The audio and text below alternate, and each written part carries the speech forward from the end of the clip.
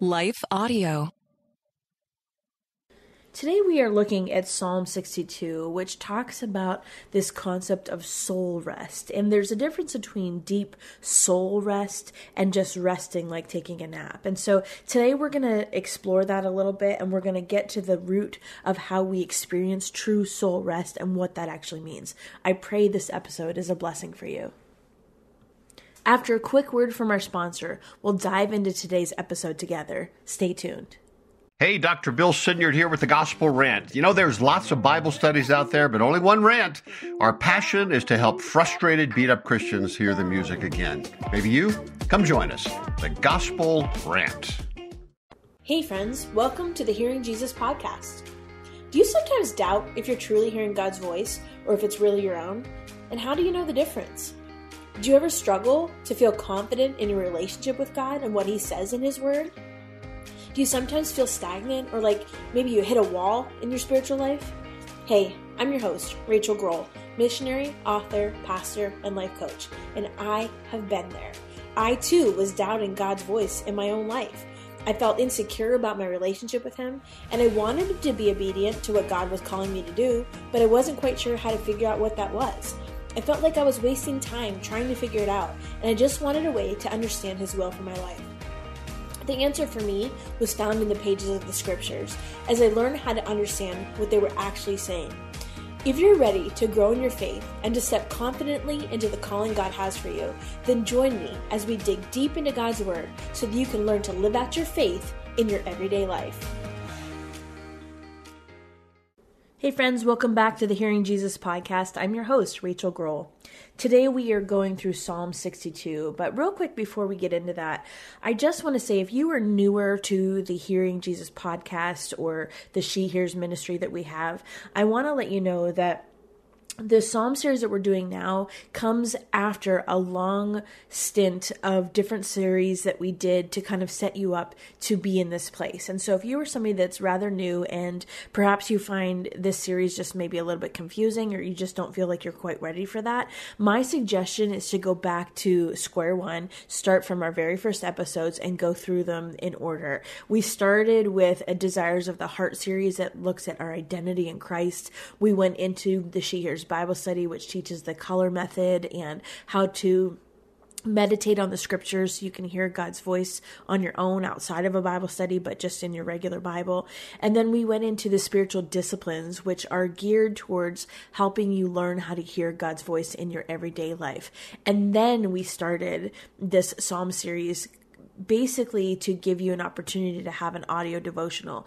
But for some of you, I'm getting um, just really common questions for, for newer believers or if you're new to doing a devotional or listening to devotional reading that may be helpful for you to go back and start with some of those foundational series that we offered to kind of help get you to a place where this serves you better and it makes more sense in your life.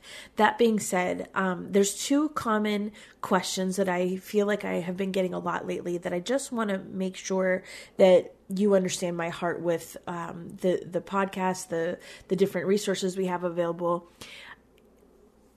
There is a common sense that people feel overwhelmed or like they can't hear God's voice and that perhaps they're doing it wrong or they're praying the wrong way or there's just something wrong with them because they're not hearing God's voice. I want you to realize that um, there's there's a, a caveat to that and it has to start with salvation. It has to start with this surrendering of your heart and laying it before the cross of Christ and saying, okay, Jesus, come into my life because I can't do this on my own. And so there's this confession of your own sins and your inability to do this on your own. And then this, this asking Jesus to come in and, and be Lord of your life. And if you have not gotten to that point where you have reconciled that and you have come to faith in Christ and you have surrendered and asked God to to work on your behalf. That is the starting point. And then after that starting point, it also takes time. Your relationship with God is not unlike your other relationships where you don't necessarily know their voice at first. You know, if you think about a first date or first couple dates, if if that person were to call you on the phone you might not automatically recognize their voice. But after you've been in relationship with them, my husband, when he calls, he doesn't say, Hey, it's Tim. I, I know his voice. And that's because we've spent time together. I've listened to his voice. He's listened to me. We've had this relationship. And so I want you to give yourself some grace. It takes time and it's based on relationship. And so perhaps instead of the focus for you of wanting to hear this audible voice of God or being confident, perhaps you, you need to put that on pause for a minute and back up and just spend time with Him. Just get to know each other because that's really the foundational way that God speaks to us. He speaks to us primarily through our word, through His word. I'm sorry, but but it's through this this context of relationship, and there are no shortcuts in that. I mean, with any relationship, there are no shortcuts, and I feel like we live in a culture that really perpetuates this idea that you can have closeness and um, even through online relationships there's this false sense of closeness that's that's not reality the reality is is it takes time so i i, I say all of that to say that there's no wrong way to do this. There's no wrong way to pursue your relationship with God other than not doing it. And so um, does that mean we won't make mistakes? No, of course not. I mean, we all make re- mistakes in relationships all the time, but there's a grace there because God wants to be in relationship with you. He's pursuing you. The very fact that you're listening to this podcast tells me that you are also pursuing Him. And so give yourself some grace, allow it to take some time. Don't feel like you're doing it wrong. Just keep going. I think that's that's the other thing is people think okay well i didn't hear this audible word from god so i'm just going to give up. Well that's not the reality of, of the situation. And and it's not that god doesn't do that. Sometimes he does and i've i've heard that and experienced that. But more often it's a still quiet voice. And we did our biblical meditation series. That's why I, I ran that um, because it's been really popular and it's helped people understand how to better hear his voice using God's word. And so I would encourage you go back to the spiritual discipline series, go through that. It's 12 weeks. I would go through that and then jump back to the Psalms. That being said, once you get to this psalm series, what we just put out and what we've been doing is journaling prompts. So if you were on my newsletter, which is free, it comes out every Monday, we will send right to your inbox journaling prompts that go along with that previous week's devotional audios. So, for example, if we're doing Psalm 60, what are we doing today? Psalm 62 on Monday, you will get an email that has a journaling prompt to help you move that information from your head to your heart. So, if you have not been part of the email newsletter, up until this point and you want to get your hands on that those journaling prompts i have a psalm journal it's only five dollars um, on my website shehears.org that you can get all of those past journaling prompts. Now they're free if you're on the email list they're free and every monday you'll get those but we don't go back and send old ones it's just too complicated. But if you want those it's five dollars. The psalm journal uh, the one that is available right now is Psalms 1 through 50 and you can you can look on there it'll show you exactly what is included, but there is a journaling prompt, there's a verse of the day, and a link that takes you right to that corresponding podcast episode. So the podcast audio devotionals are all free. The only thing you have to pay for is that journal because there are some costs associated with with making those. And you can print that. So you can either, you know, do it on your iPad or you can print it out, do, you know, don't don't distribute it, but however you want to use it. If you want to use it with your kids or or you know, your own personal Bible study time, feel free to do that. That's just a resource for you to use. And then I, I like, if you're not a journaler, don't feel intimidated because these are short prompts. They are just questions, even if you don't want to journal them. Um, they're just questions to get you thinking about the content for the day and then applying it to your individual daily life. I talked to somebody the other day that said, you know, I just am not a journaler. I said, well, you could do an audio audio journal. I mean, I do that all the time. I have either my voice notes app on my iPhone or the actual notes app, and I'll just do an audio note as I'm thinking through something, sometimes I'll just do an audio journal to make mental notes for myself or actual real notes for myself. There's nothing wrong with that. Again, there's no wrong way to do this. This is about you and your relationship with God and and whatever way it's going to work to get you in the word. And so, again, those are just some tips that I have. And we're going to be going through the rest of these psalms until we get to the end. And i think there's 150 psalms. And so um, we're almost about halfway through. So if you are not ready for that it's okay. There's plenty of other resources available for you to kind of get you started. And we'll be here. We're not going anywhere. You know they'll be here when you are ready for them so let me jump into Psalm 62, and this is a psalm of David, and I'm going to start at verse 1. It says, My soul finds rest in God alone. My salvation comes from him. He alone is my rock and my salvation. He is my fortress. I will never be shaken. How long will you assault a man? Would all of you throw him down? This leaning wall, this tottering fence. They fully intend to topple him from his lofty place. They take delight in lies. With their mouths they bless, but in their hearts they curse. Find rest, O my soul, in God alone. My hope comes from him. He alone is my rock and my salvation. He is my fortress. I will not be shaken. My salvation and honor depend on God. He is my mighty rock, my refuge. Trust him at all times, O people. Pour out your hearts to him. Our God is our refuge. Low-born men are but a breath, the high-born are but a lie. If weighed on a balance, they are nothing. Together, they are only a breath. Do not trust in extortion or take pride in stolen goods. Though your riches increase, do not set your heart on them. One thing God has spoken, two things have I heard that you, O God, are strong, that you, O Lord, are loving. Surely you will reward each person according to. Okay, let's take a quick break, and when we come back, we'll continue discussing this episode together. Stay tuned. Hey there, it's Nicole Unice, host of the How to Study the Bible podcast, where every single week we join together to encounter God through His Word.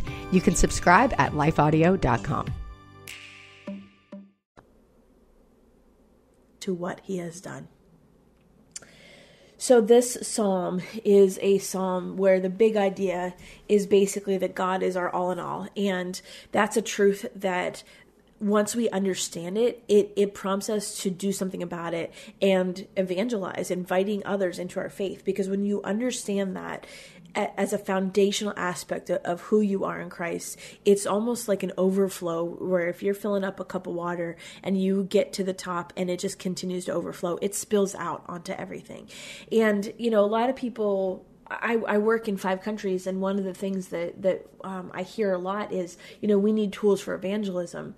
But in my experience, evangelism is a natural side effect, I guess, if you will, of a heart that is completely filled up with Jesus. And if you are working from the overflow, you can't help but to tell other people about the Lord. It's just a it's a it's a way that God has created us to um, de- declare the things He's done in our lives, and and that's an exciting place to be.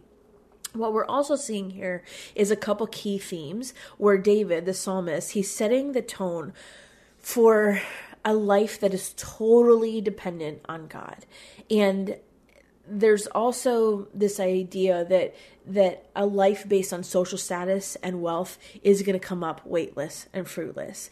And I think that's something that a lot of people struggle with. And a lot a lot of people are chasing social status and wealth that will come up weightless. And you know, I was thinking about that um, even just over the last couple weeks because our financial situation now is not what it used to be. I mean, at one point in our lives, um, we lived off of WIC. If you don't know what WIC is, it stands for Women, Infant, and Children. And where we live, WIC is a nutrition program for when you have when you're nursing or have babies and toddlers at home and they give you things like tuna fish and peanut butter and cereal and milk and eggs and and you know some core things. Um, we lived off of wic and the church food pantry boxes.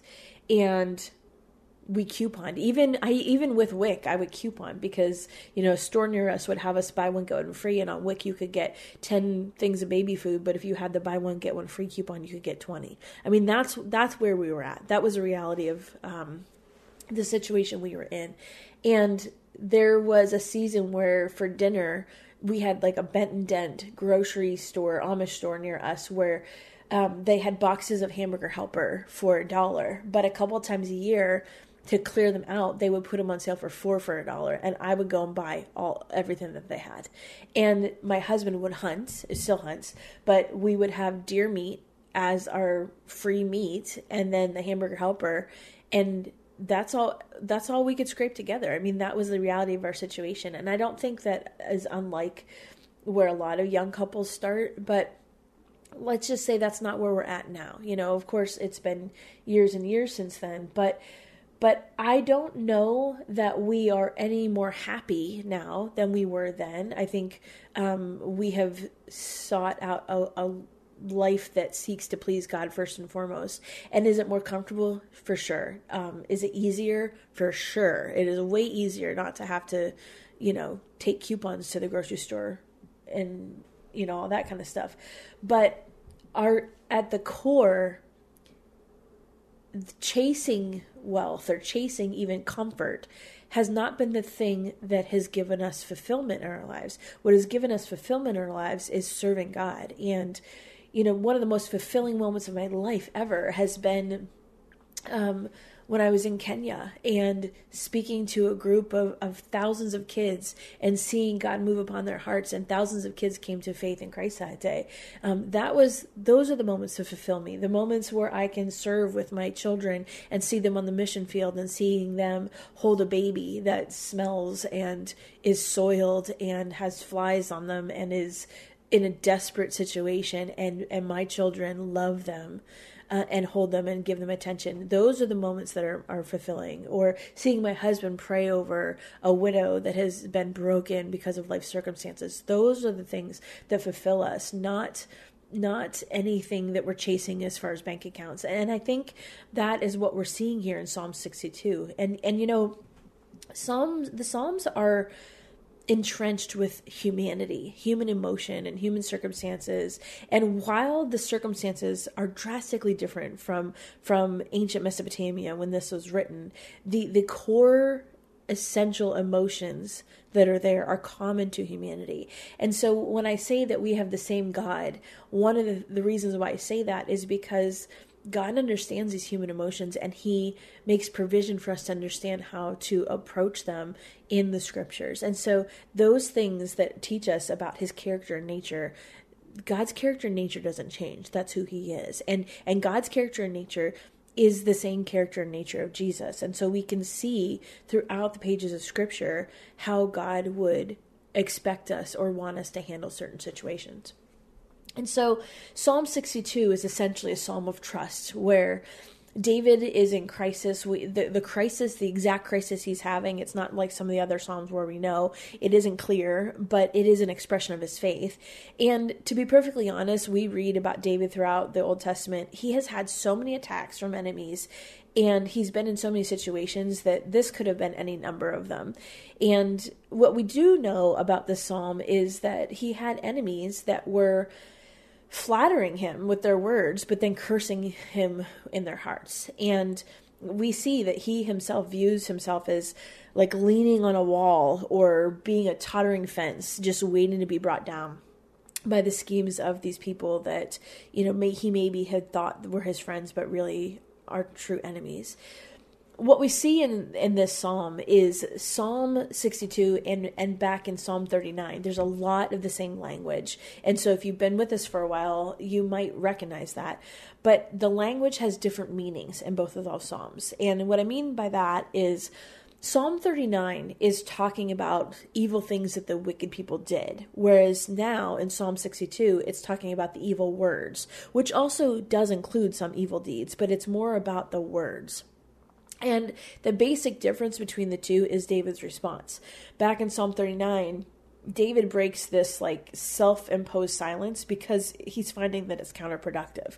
But in Psalm 62, David is finding that God is the only source of spiritual silence and peace. And so he's realizing that trusting God is the only source of peace and hope that he can have in, in the midst of this hurtful situation. And he recognizes that wealth and status and all that are just meaningless without God. So let me start with verse 1. There's a couple insights that I think will be helpful as we study this psalm.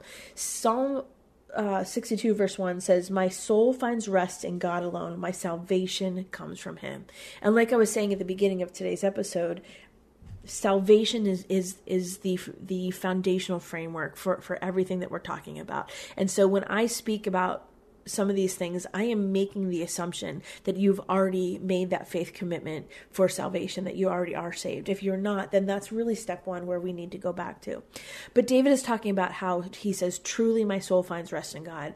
It's, it's, an important distinction I want to make sure you understand that rest is more than just inactivity. Like it's more than just physically taking a nap. It's basically the the way that the, this word is used in this uh, original language is it's basically rest from trouble or resting from your cares.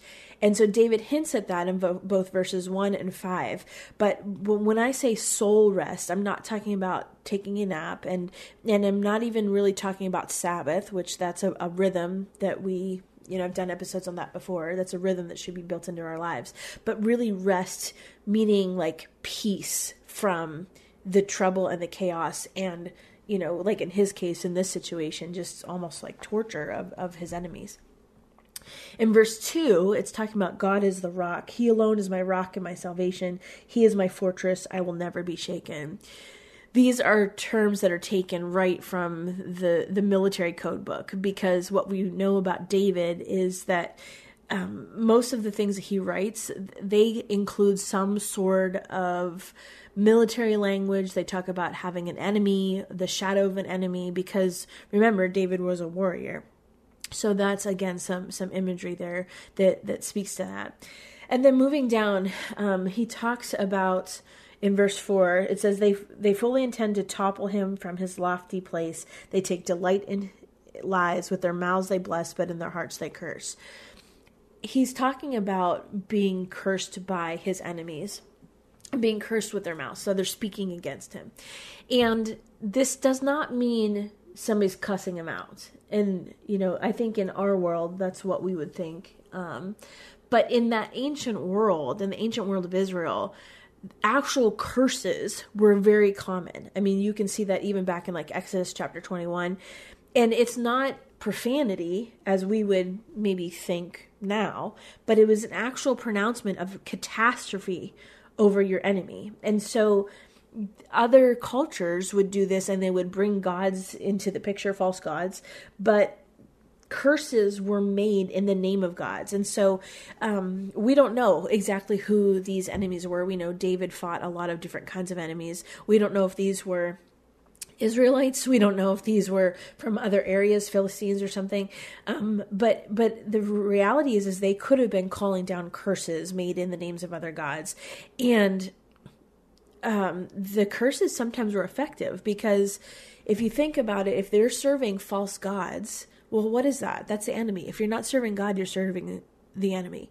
And regardless if they called it, you know, some sort of false God or, or, or who they thought they were serving, there's power in that because just as much as we serve God and and righteousness, there's a very real king of this world, the enemy, who seeks to kill, steal, and destroy.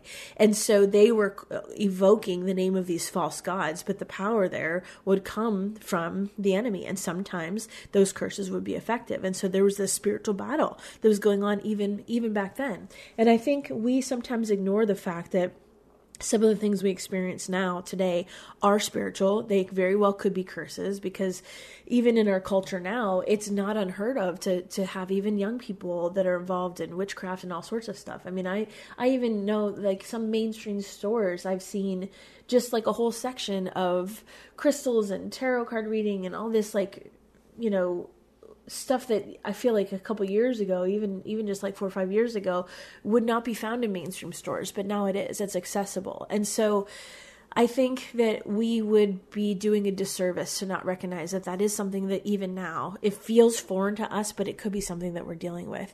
But regardless, that's what David was dealing with in this situation.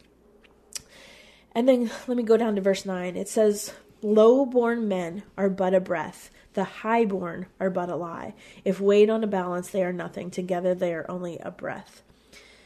The psalmist is talking here about opposite ends of the spectrum. So he's talking about the lowborn and the highborn. And so basically, the lowborn are talking about um, perhaps those that are living in poverty, and the highborn are those that are the higher class of society in that culture. The ones that had more money or more status or you know, land, those kinds of things. And so he's having this comparison, but basically he's saying like there's really no difference. They're they're both but a breath. You know, in in the grand scheme of things, without God, there's no difference between the rich and the poor. And and again in verse 10 there's a comparison where he's talking about riches and he says do not set your heart on them because even if you have all the riches that you want, if you don't have God, they're meaningless if you don't have God, all the riches in the world mean nothing because there's an inability to find deep soul rest without God. That's the only place you can find it. And um, you know, you hear that more money, more problems. That's that's the reality of it. You have you have bigger bills when you have more money. So if you don't have God as the foundational aspect of your life, all of that is is going to be worthless. And then the conclusion of the psalm really brings together two thoughts. The first is just this thought of God's power and love. So God exercises his power because of his love and within this relationship, this covenant that he has with his people. And because of that, he is trustworthy. And so then the second aspect or the second thought is that there is this biblical principle that God will reward each person according to what they have done because God is just. Now, a caveat with that is there are some people that think, okay, because God rewards each person according to what they have done, I'm just going to do a bunch of really good things and hope that it's enough to get me into heaven. False. You are not loved for what you're doing, you're loved for who you are.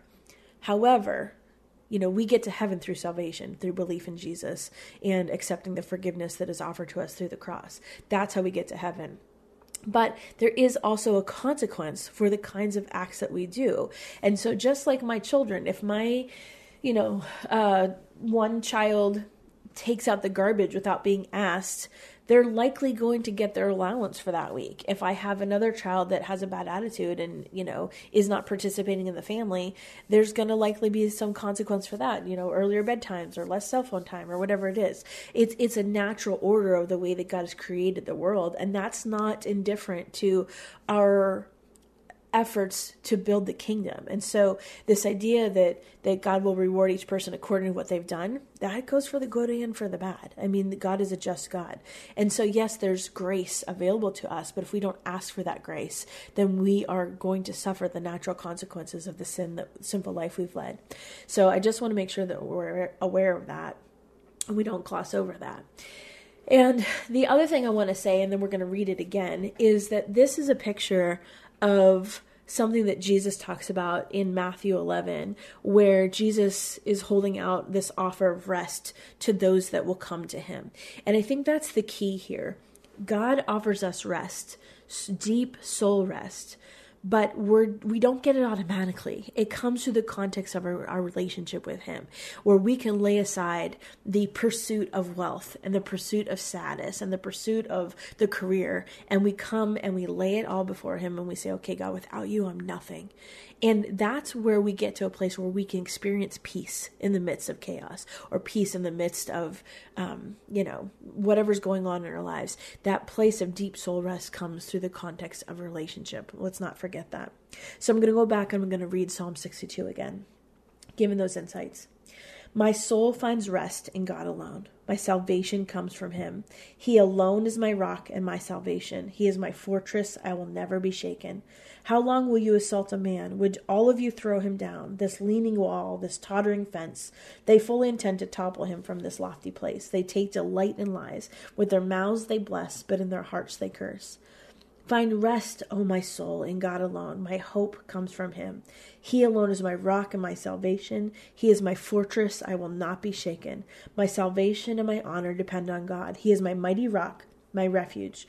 Trust in him at all times, O people. Pour out your hearts to him. Our God is our refuge. Low born men are but a breath, the high born are but a lie. If weighed on a balance, they are nothing. Together, they are only a breath. Do not trust in extortion or take pride in stolen goods. Though your riches increase, do not set your heart on them. One thing God has spoken, two things I have heard that you, O God, are strong, and that you, O Lord, are loving. Surely you will reward each person according to what he has done. God, thank you for your presence in our lives and your desire for us to find rest, deep soul rest in you alone. Lord, help us to break away from the distractions of this world the pursuit of wealth, the pursuit of status, the pursuit of um, just keeping up with the Joneses. Lord God, help us to instead lay those things down in surrender as we come to you and and really allow our relationship with you to take precedence over everything else in our lives. Lord, I pray that as we get to that place, we would experience this deep soul rest that, that your word promises to us. And Lord, I thank you that you intentionally lay this out for us in the scripture in a way that is still relevant today, even despite the fact that we are in a different time and a different place than David, we can understand who you are through the pages of the scripture. God, I thank you for the treasure of your word. I pray a blessing over my friends today that you would make yourself known to them in a real and tangible way. In Jesus' name, amen. Hey, friend, do you feel like you need a little one on one? My goal for the She Hears ministry, the Hearing Jesus podcast, all the resources that we have is to really help you learn how to hear God's voice so that you can be confident in your relationship with Him.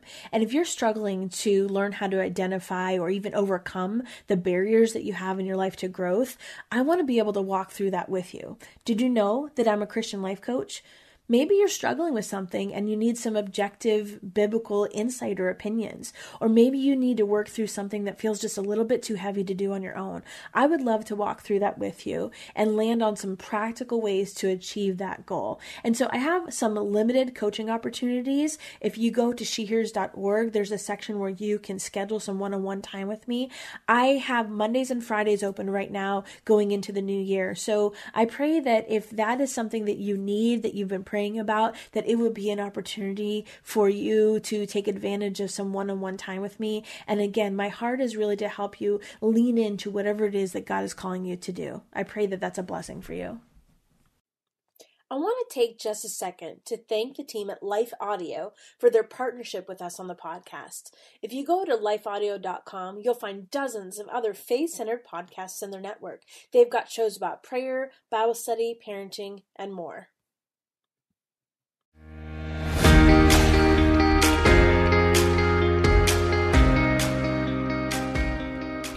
Hey, friends, if this podcast helped encourage, empower, or equip you for God's call in your life, I would love it if you would head over to Apple Podcasts and leave me a review. That's the number one way you can support my show. You can also join our free Facebook community or Instagram page where I share inspirational tips, resources, and prayer throughout the week. Hey, I want you to know I'm praying for you this week. Know that you are loved, you are cherished, and you are His.